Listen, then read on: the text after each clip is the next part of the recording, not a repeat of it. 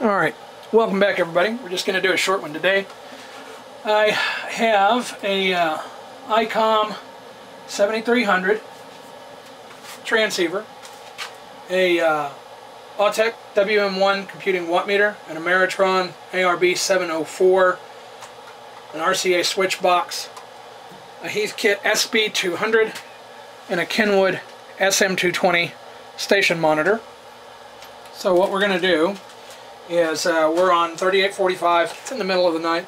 So uh, we're down on 80 meter. We're set for 4 on the load. Tune, we're setting the 80 meter band. Band, we're setting the 80 meter band. We have relative power displayed. Relative power uh, sensitivity is uh, all the way clockwise. And uh, we've got the mode in uh, CW.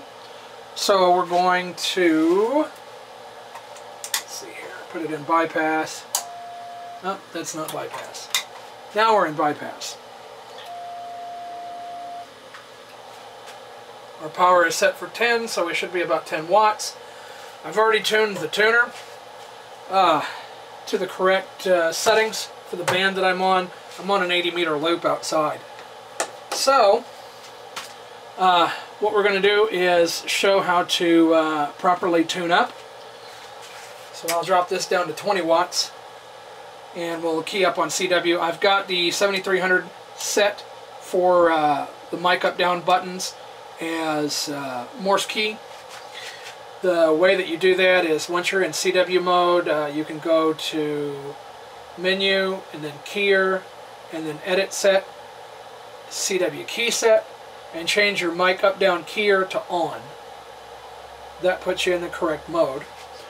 So, once you're there, then, uh, like I said, you, you need to be on low power. I'm on 10 watts.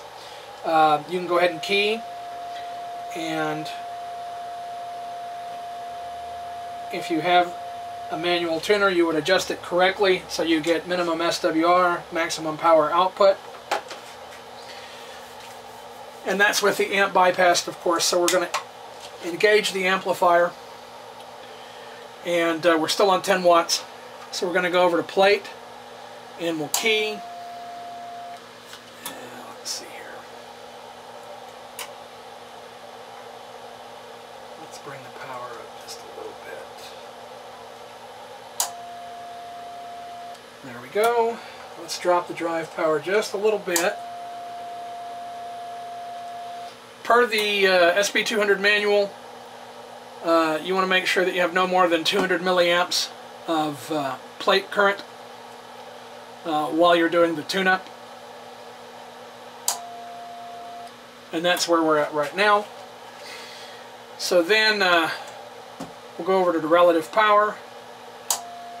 We want to make sure that we're in range. And what we'll do is we'll adjust our uh, load and tune control uh, for maximum power out on the relative power setting. Don't adjust your band switch while uh, you're keyed or you will arc over.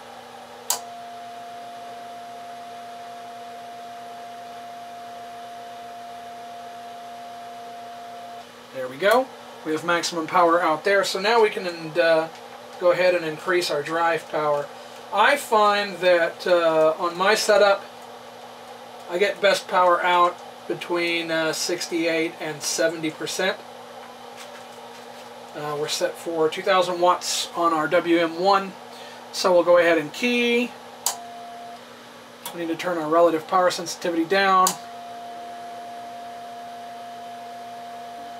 Alright we're mid-range so we'll go ahead and adjust again.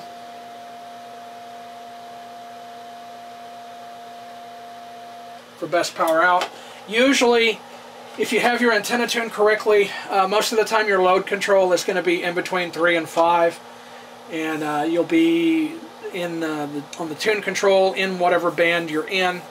Now on the uh, Kenwood SM220 station monitor, uh, you can set it for um, basically uh, an envelope display or you can set it for trapezoid display. we have it set for the uh, the regular envelope display now. I don't know if you can see what's on the screen here. Let me turn the intensity up. So right now we're just getting uh, straight envelope because we're on CW. Uh, we can go ahead and uh, set for trapezoid and key. I'm going to go ahead and have to put audio into this. So let's change to sideband mode. And uh, go ahead and move up a little bit. Somebody else has started talking just below us. All across. There we go. Let's try this. Kilo Delta 5 Tango Kilo Romeo testing 1 2 3 4 5 so we've got good display there uh, we look like we're linear so everything is probably set uh, let's go ahead and check our plate and uh, we'll just go ahead and put it back on CW for that. So plate's good. Grid we want to make sure that we're not too high there. And we're not. Everything is looking good. Alright, looks like uh, we're properly tuned. So that's going to be it for uh, this video. If you have any questions on uh, the SM220, the uh, SB200, the Autek WM1, the Ameritron 704, the ICOM 7300, uh, or how I did the uh, bypass switch, uh, just go ahead and uh, put your question in the comments below. If you have any comments, uh, put them there as well.